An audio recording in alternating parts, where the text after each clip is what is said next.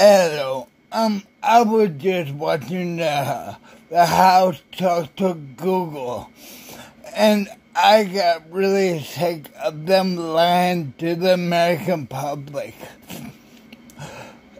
Okay, the taxpayer paid for Facebook live blog. It could Google why are we not having a government run version where the money goes to the citizens of America, the citizens of America, not just to some third party company? I hate Mark Zuckerberg making billions of dollars off of my information when I don't make any money. Why isn't that money coming to me?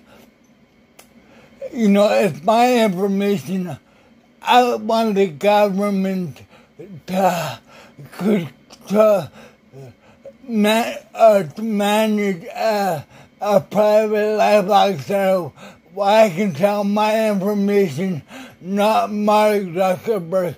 Because what he does is sell our information and then not pay any taxes because of all the loopholes for people when you have money. I know the more money you have, the less, lower the tax rate you pay. That's why I want to argue for a flat rate for everyone.